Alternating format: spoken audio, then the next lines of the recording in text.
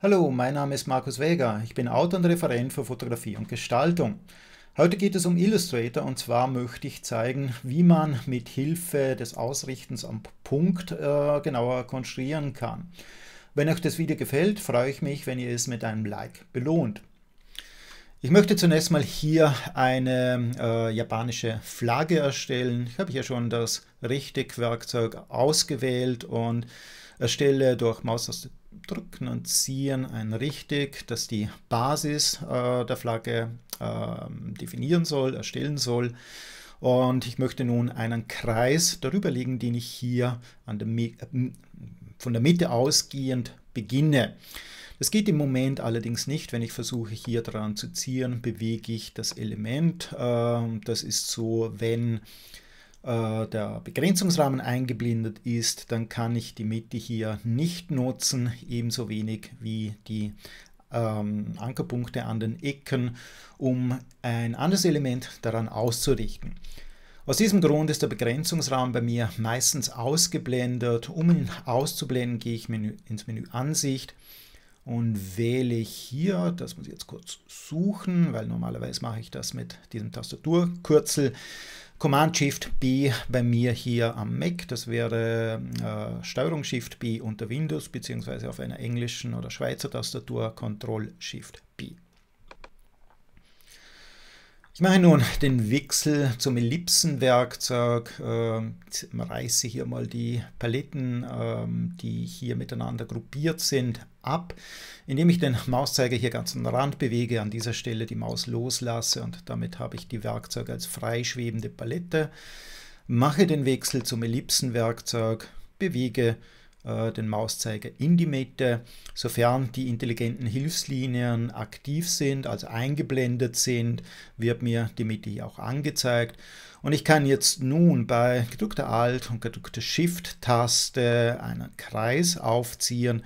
Durch Drücken der Alt-Taste wird der Kreis nicht beginnend von der Stelle, wo ich losgezogen bin, in zwei Richtungen, sondern von da ausgehend in alle vier Richtungen äh, erstellt. Das heißt, der Punkt, an dem ich gestartet bin, an dem ich losgezogen habe, ist am Ende äh, der Mittelpunkt des neuen Objekts. Shift-Taste bewirkt, dass die Proportionen gleich sind. Ohne Shift würde das so aussehen.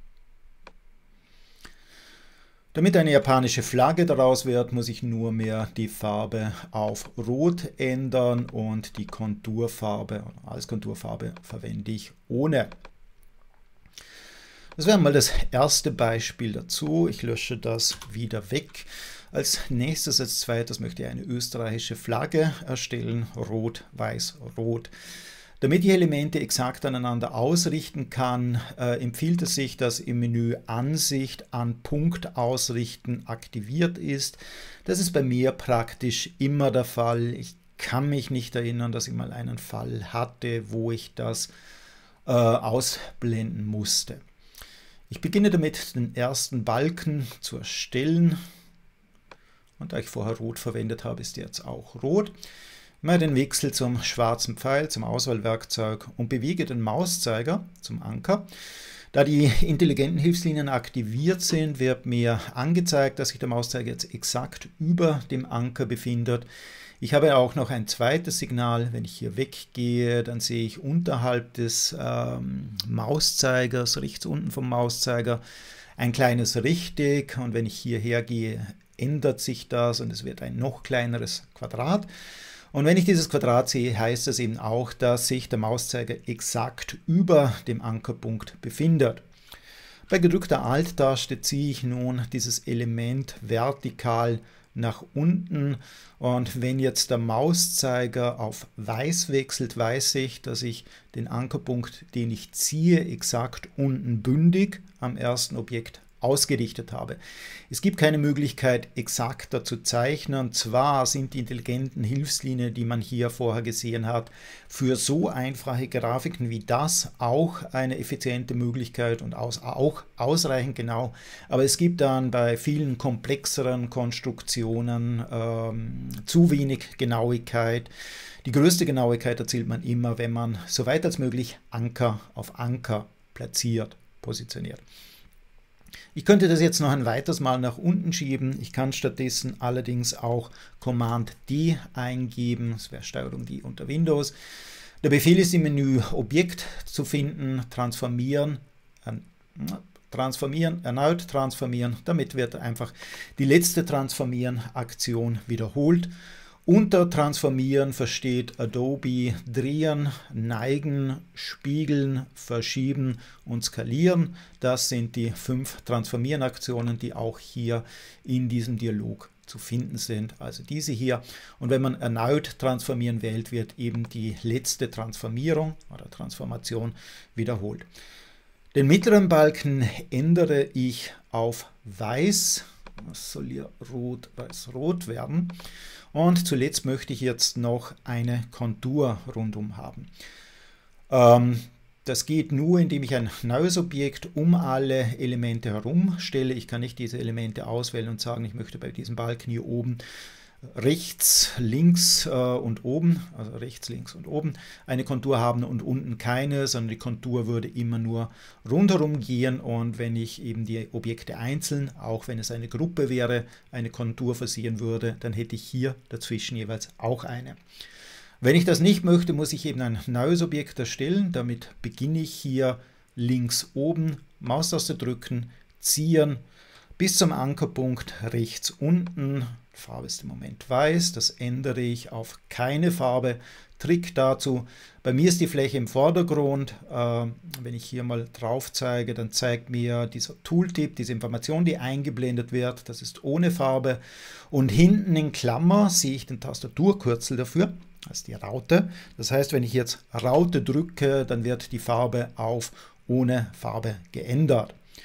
Durch Drücken der Taste X, das wäre wenn ich hier nochmal drauf gehe, äh, Kontur aktivieren, auch hier sieht man hinten in Klammer einen Buchstaben, das ist das X.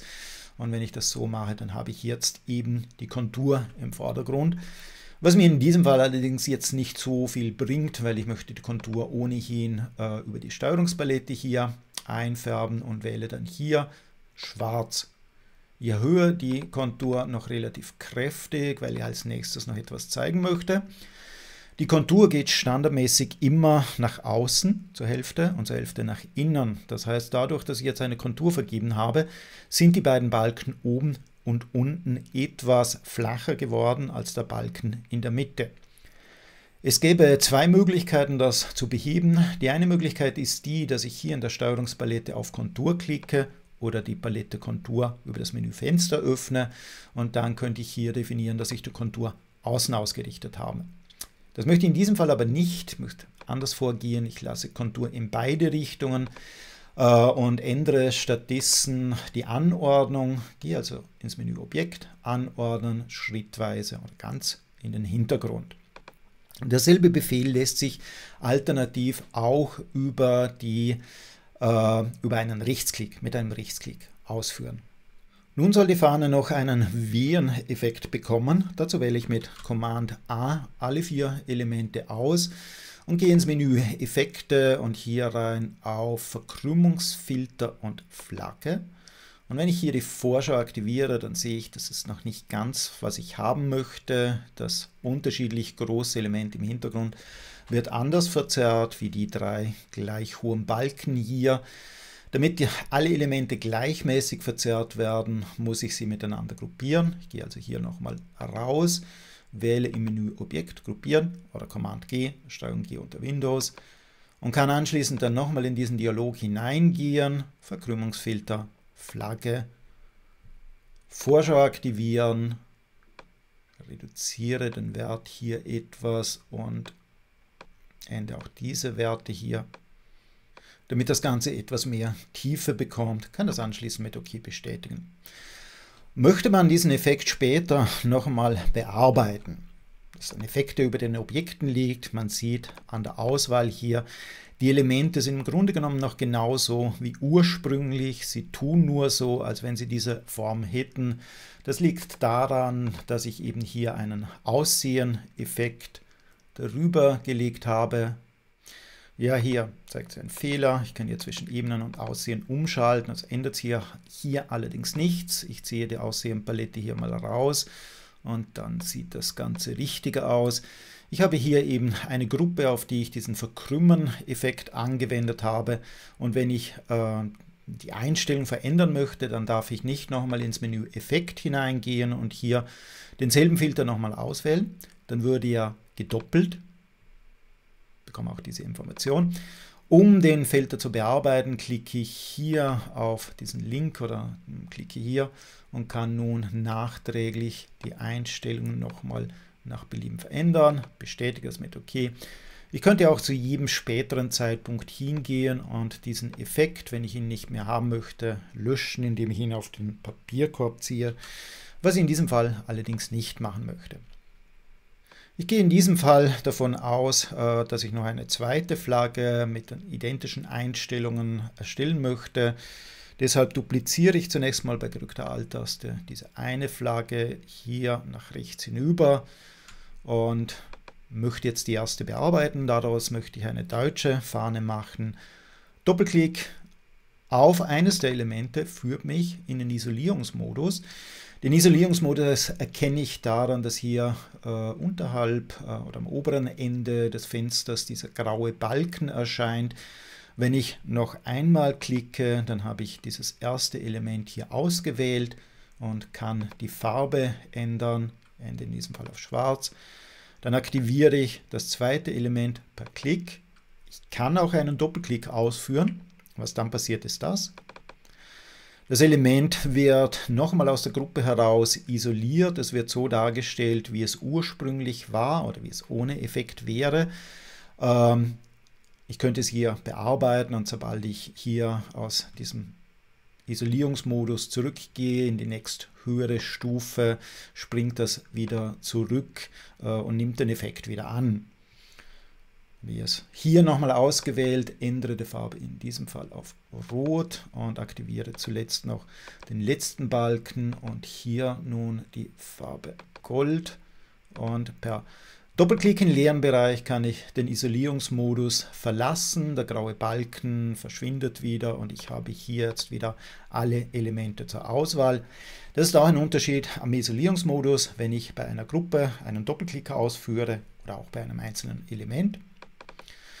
Und der Isolierungsmodus wird gestartet, dann sind alle Elemente für diesen Moment gesperrt mit einem Grund, weshalb es Isolierungsmodus heißen wird, weil eben diese Elemente hier isoliert sind.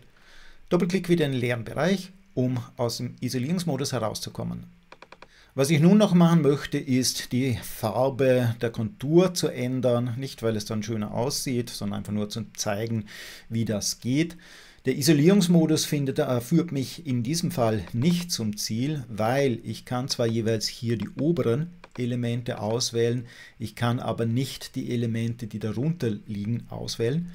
In InDesign könnte ich bei gedrückter Command-Taste klicken und dadurch ein Element, das darunter liegt, aktivieren, aber hier in InDesign funktioniert das nicht.